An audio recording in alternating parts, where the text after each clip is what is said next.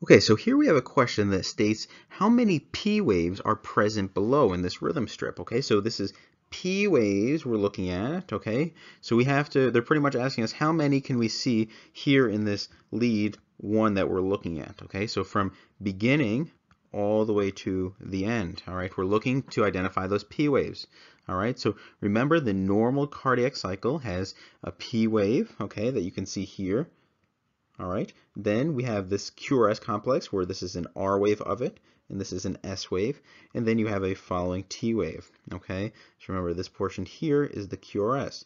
Now remember, the P wave represents atrial depolarization. Okay, now you don't see the uh, atrial repolarization wave because oftentimes it'll be buried within the QRS complex, uh, but sometimes you can see it with slower rhythms or some other pathology. Okay, so we don't have that here. And then we have our QRS complex where we said we have the R and S wave, and that represents ventricular depolarization. Okay, and then we said we have a T wave that represents ventricular repolarization. So notice that we depolarize the cells and then we repolarize and we constantly have this cycle.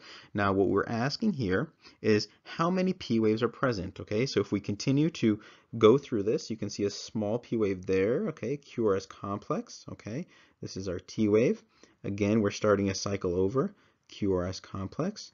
T wave. And when I mention QRS complex, I'm not calling them uh, by their names, right? They're actually RS complexes, but generally when we talk about QRS complexes, we talk about ventricular depolarization complexes. So that's why we label them here. So again, another P wave, QRS complex, T wave, P wave, QRS complex, and you can slowly see a T wave kind of forming there. So the question is asking about P waves, okay? So let's identify uh, those P waves here. So we have one here, okay?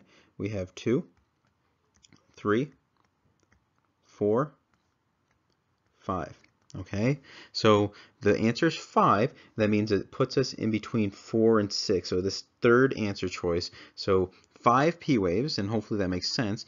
Uh, and this is a normal uh, cycle. You can see these cycles kind of repeating themselves. Okay, you have one that starts here and ends here, and then you have another one ending here, ending here, ending here. Okay, so pretty straightforward, and all you had to do is kind of pick out those P waves, all right, that represents atrial depolarization, and there are five present here. Well, that's the end of this lecture. I hope you learned something.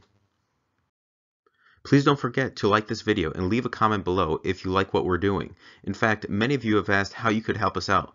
Really, the best way you could do is simply subscribe and share this resource with your friends. And you get free access to more than 300 videos.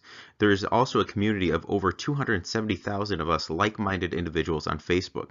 So stop over and join the EKG Guys uh, Facebook community.